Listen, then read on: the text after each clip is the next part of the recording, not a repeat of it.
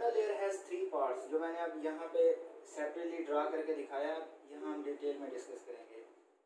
Vestibule बल्कि यहाँ से पहले स्टार्ट करते हैं। This all one is cochlea इससे पहले जो इंटरनल एयर है, इसको लेबरिंथ भी कहते हैं। लेबरिंथ का मतलब ये है कि नेटवर्क इसको नेटवर्क क्यों कहते हैं? क्योंकि इसके अंदर बहुत सारे बोनी नेटवर्क्स होते हैं और कुछ मेम्ब्रेनस नेटवर्क्स भी होते हैं। तो इसके अंदर मेम्ब्रेनस नेटवर्क भी हैं और बोनी नेटवर्क भी हैं। जो मेम्ब्रेनस बोनी नेटवर्क हैं, उनको हम तीन पार्ट्स के अंदर डिवाइड करते हैं। जो ये कॉइल्ड नेटवर्क है बोनी बोनी ये जो मैंने ब्लैक कलर से ड्रा किया हुआ है, ये है बोनी नेटवर्क और जिसको ग्रीन से ड्रा किया है, ये है मेम्ब्रेनस नेटवर्क तो बोनी नेटवर्क जो है, उसको हम तीन पार्ट्स के अंदर डिवाइड करते हैं। ये जो कॉयल स्ट्रक्चर है, ये कॉइल्ड बोनी नेटवर्क जो है, इसको हम नाम देते हैं cochlea posterior to the cochlea ये जो एक क्यूब लाइक बोनी नेटवर्क है इसको हम नाम देते हैं वेस्टिब्यूल और ये जो तीन कैनाल्स हैं सेमी सर्कुलर कैनाल्स ये भी एक बोनी नेटवर्क है। सो so, बोनी नेटवर्क को हमने तीन पार्ट्स के अंदर डिवाइड कर दिया कॉकलिया वेस्टिब्यूल और semicircular canals in bony networks के अंदर जो है मेम्ब्रेनस नेटवर्क मौजूद होता है। फॉर एग्जांपल कॉकलिया के अंदर ये जो ग्रीन सी मैंने एक कैनाल डक्ट ड्रा की है.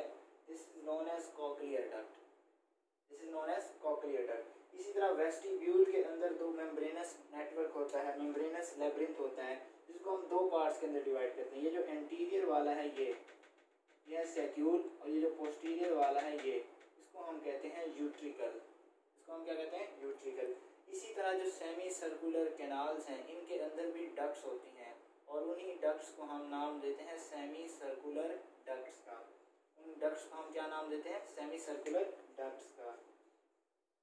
वन थिंग मोर कि ये जो मेम्ब्रेनस नेटवर्क है, एक फ्लूड प्रेजेंट होता है इन मेम्ब्रेनस नेटवर्क के अंदर। इसको मैं ब्लू कलर से शो करने लगा हूँ। ये जो मेम्ब्रेनस नेटवर्क है, इसके अंदर एक फ्लूड प्रेजेंट फ्लूड को हम नाम देते हैं एंडोलिम्फ इसी तरह यहाँ पर इसको हम नाम देते हैं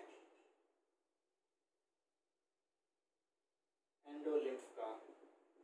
जो कि इन मेम्ब्रेनस नेटवर्क के अंदर प्रेजेंट होता है। फॉर एग्जांपल इस कॉकलियर डक्ट के अंदर जो प्रेजेंट होगा फ्लूड उसे भी एंडोलिम्फ का नाम देंगे। जो इस सेक्यूल और यूट्रिकल के अंदर फ्लूड प्रेजेंट होगा, वो भी एंडोलिम्फ होगा। और इसी तरह इन सेमी सर्कुलर डक्ट्स के नॉट कैनाल्स डक्ट्स के अंदर जो फ्लूड प्रेजेंट होगा, उसे भी एंडोलिम्फ का नाम देते हैं एक और फ्लूड है जो कि प्रेजेंट होता है मेम्ब्रेनस और बोनी लेब्रेंथ के बीच में।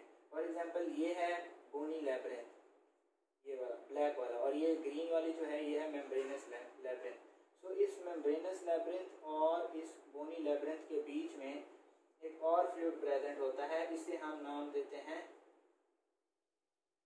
पेरीलिम्फ का। इसे हम क्या नाम देते हैं? पेरीलिम्फ का। तो ये वाला जो फ्लूड प्रेजेंट है, ये कौन सा है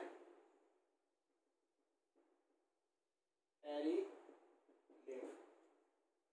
so this was about just, this was just about the basic introduction of internal air. Internal ear को डिटेल में समझने के लिए सबसे पहले एक बेसिक ओरिएंटेशन बनाना बहुत ज़रूरी है। उसके लिए मैंने आपको सबसे पहले बताई उसकी exact location it is situated in the petrous part of temporal bone medial to the middle ear फिर हमने तीन व्यूज़ से उस मीडियल इंटरनल एयर की लोकेशन को डिस्कस किया। एक एंटीरियर व्यू से भी आपको डिस्कस किया, ये सुपीरियर व्यू से हमने डिस्कस किया और लेटरल व्यू से भी हमने इंटरनल एयर की लोकेशन को डिस्कस किया है। उसके बाद कुछ इंटरनल एयर को हम लेबरिंथ कहते हैं। लेबरिंथ क्यों कहते हैं? लेबरिंथ का मतलब होता है नेटवर्क अब इंटरनल को नेटवर्क क्यों कहते हैं? क्योंकि इसके अंदर बहुत सारे बोनी नेटवर्क्स होते हैं और मेम्ब्रेनस नेटवर्क्स भी होते हैं। इस बात को समझाने के लिए मैंने अलग से इंटरनल एयर को यहाँ ड्रा किया है।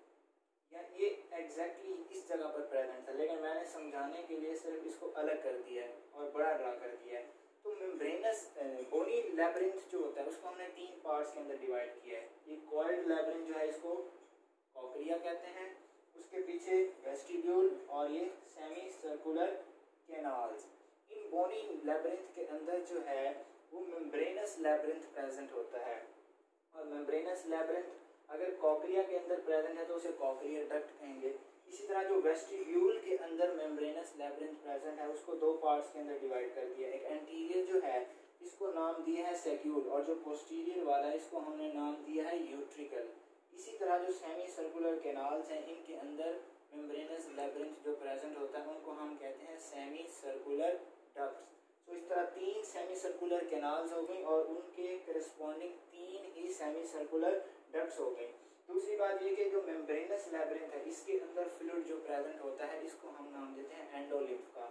और इस मेम्ब्रेनस लेब्रिंथ और इस बोनी लेब्रिंथ के बीच में मेम्ब्रेनस लेब्रिंथ और बोनी लेब्रिंथ के बीच में जो फ्लूड प्रेजेंट होता है, उसको हम नाम देते हैं perilymph so this was about the basic introduction of internal ear as I have told you that internal ear has two organs. One organ is for hearing and the other organ is for equilibrium.